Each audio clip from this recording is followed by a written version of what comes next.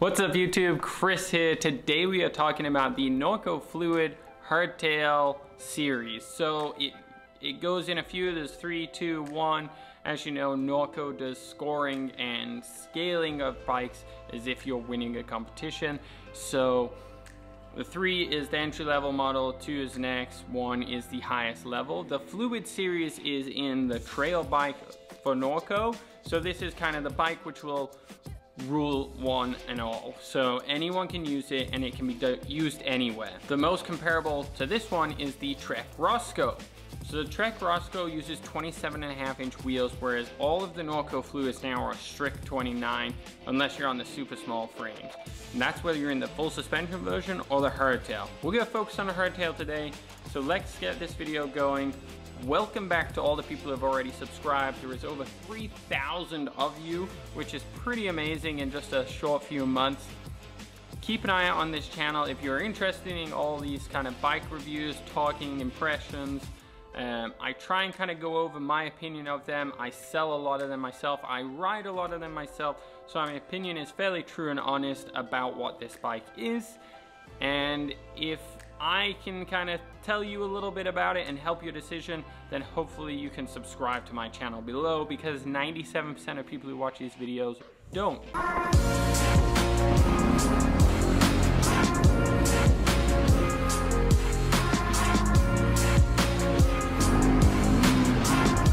Okay, so back to the video. The Norco Fluid is an interesting bike. Like I said, comes with a full suspension. We're gonna ignore that today. What we're gonna focus on now is where everyone wants to go, and that is the Norco Fluid Hardtail. This is a 29er with an almost plus size tire. You may as well call it plus. In every other brand that I know of, this would be the plus kind of compatible bike. You're getting a 2.6 inch wide tire. It's huge. It is what most of the full suspension bikes across many brands are coming with on the trail side. Smart wheel kind of size, so the smaller frames come with a smaller 27 and a half. The bigger bikes are all gonna come in 29 because they are the fastest rolling. So the chainstays have all been shortened a bit more cut out on it makes it a nice agile light bike even though it's got these big 29 by 2.6s on it. It only has front suspension. So, if you're new to this kind of stuff, what's the difference? hardtail, front suspension, full suspension, softail. The main two are a full suspension and a hardtail. This one is a hardtail because it has no rear suspension.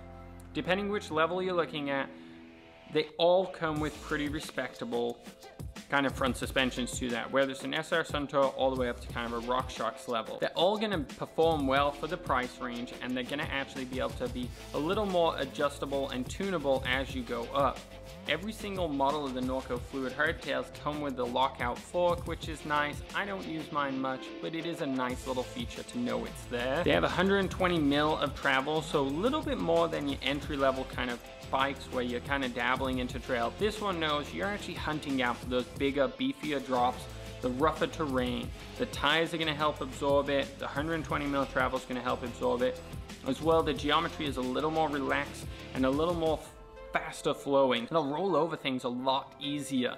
So that's one key difference between this and like an XC race bike or something along those faster cross-country style bikes. Cross-country, you're really focusing on the smoother, flatter terrain with faster speeds.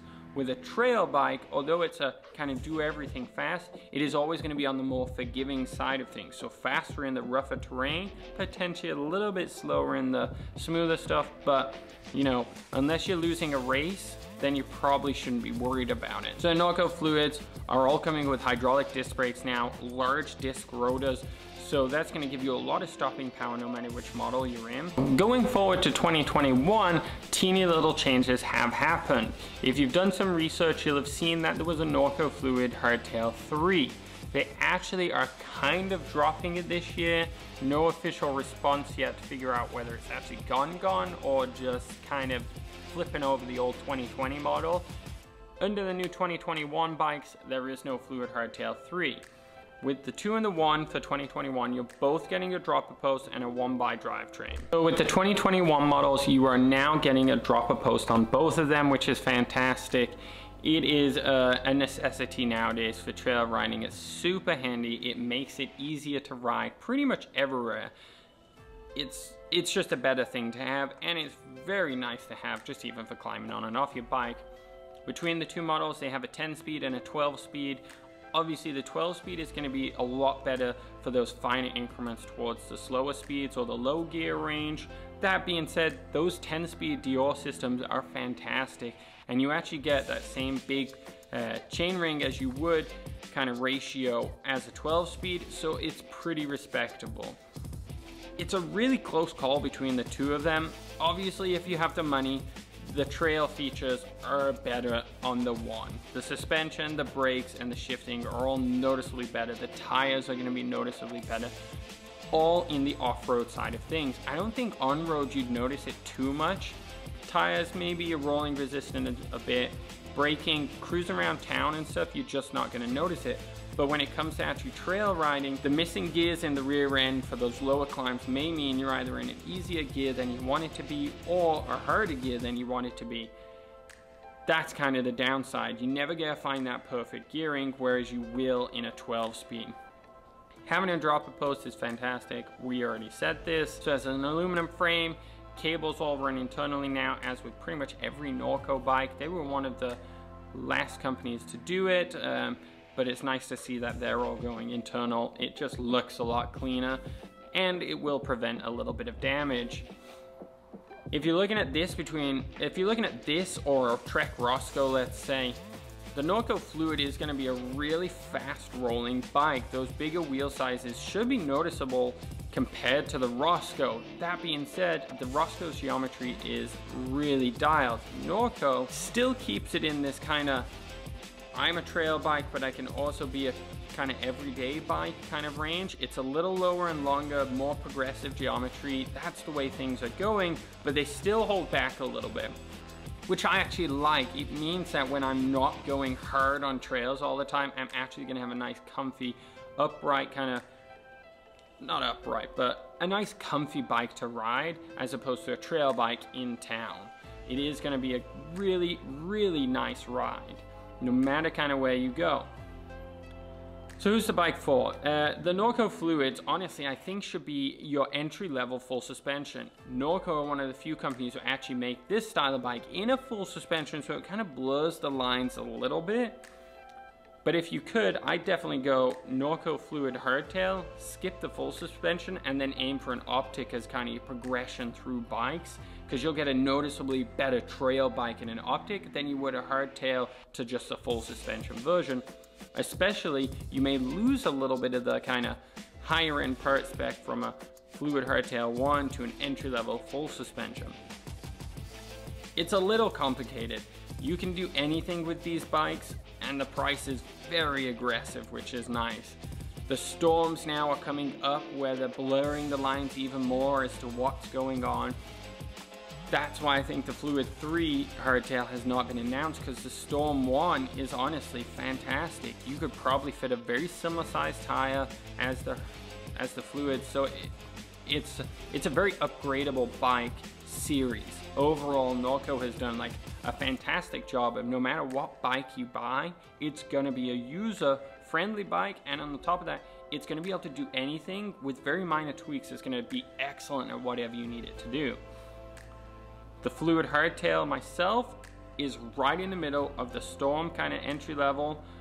I'm committing to a full suspension. It is in this like dream bike land. They've really just designed the fluid to be super progressive and really a rider's bike. So you can actually perform superbly well on a hardtail bike with bigger wheels, fast rolling. It, it's like they've threw a little bit of everything into it, a little bit of seasoning, a little bit of cross country with the 29ers, plus size or bigger size wheels, so they're not a 2.8, but big, coming from the trail bike family, progressive geometry, wide bars. I don't know what else they could have put in this, apart from they have literally checked off every single box. Anything someone is looking for in a bike, if you spend a teeny bit more money than that entry level range, you have a bike which should last you forever unless you really want a full suspension and spend that money for those benefits like they have made a bike which can rule everything. I'm pretty impressed with it. I'm excited to see one. Hopefully we get some in person. Obviously with the bike shortage and it's more now a part shortage, we are seeing orders disappear very quickly. So I would recommend checking them out online. And if you have any questions, call down to your local bike store or come in if you can and pretty much put money down because they're just gonna all be gone if you don't. It's kind of that crazy year. I don't think they really caught up from 2020. So even though the vaccine's all here, um, yeah. If you're looking for a great all-around bike, the Norco Fluid hardtails are it. it. Does. It's pretty simple if they do just keep the two models. One's the entry level one with a great part spec on it. The next one up has an excellent part spec and I, I'm pretty much speechless by it. You can do a lot with these bikes and you can put a skinnier tire on it and go XC. You put a beefy tire on it and go in the snow. I don't know what you can do with these bikes. Comment below if you already have this bike, if I missed anything, which is probably a lot. I don't go super technical on these videos, especially when I don't have the bike here to even look at. Hopefully this helped you out. I would recommend putting an order in pretty much yesterday. All right, guys, Thank you for watching again. Please subscribe. Like I said, most of you are not. And um, yeah, good luck out there.